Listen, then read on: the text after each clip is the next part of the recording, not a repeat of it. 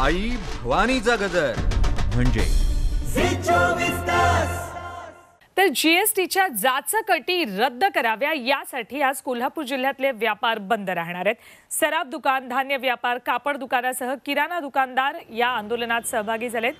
या बंदमधून अत्यावश्यक सेवा वगळण्यात आल्या आहेत. जीएसटी कायद्यामध्ये आतापर्यंत नऊशेहून अधिक वेळा सुधारणा झाल्या आहेत.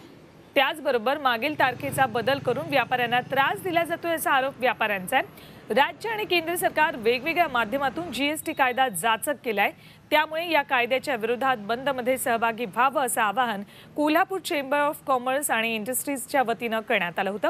या बंदला व्यापाऱ्यांनी पण प्रतिसाद देत या आंदोलनात सहभाग नोंदवलेला आहे. ही कोल्हापुरातली दृश्य आहेत. सगळी दुकानं बंद दिसत आहेत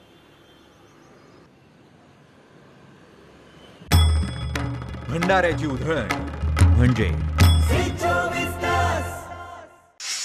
दख्खनचा राजा अशी ओळख असणाऱ्या श्री ज्योतिबाचे खेटे आयोजित करू नये असा आदेश कोल्हापूरच्या जिल्हाधिकाऱ्यांनी पश्चिम महाराष्ट्र देवस्थान समितीला दिला.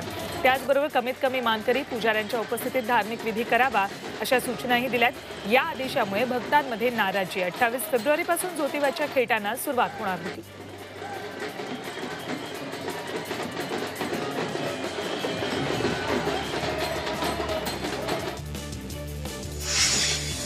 जे जे रुग्णालयात आता कोव्हॅक्सिन पाठोपाठ कोविशिल्ड लसही उपलब्ध झाली आहे मुंबईत जे जे रुग्णालय हे कोव्हॅक्सिनचं एकमेव केंद्र आहे.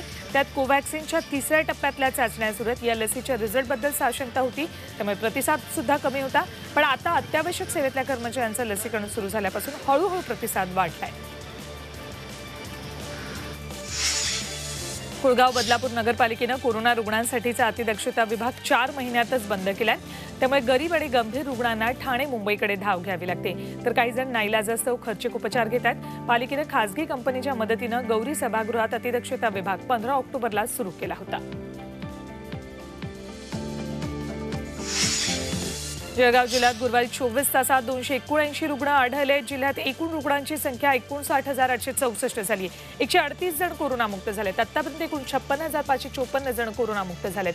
गुरुवारी दोघांचा मृत्यू झाला. एकूण मृतांचा आकडा एक हजार तीनशे एक्क्याऐंशी झाला सद्यस्थितीत एक हजार नऊशे एकोणतीस रुग्ण उपचार घेत आहेत.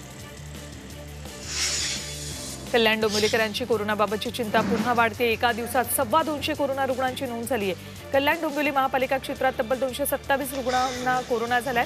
आठवडाभरापासून रुग्णांच्या संख्येत ही कमालीची वाढ होते. दररोज शंभर सव्वाशे रुग्ण आढळत आहेत.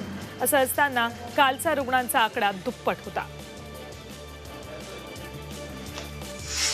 एकीकडे रुग्ण ताडोबातल्या वाघिणीची चाल म्हणजे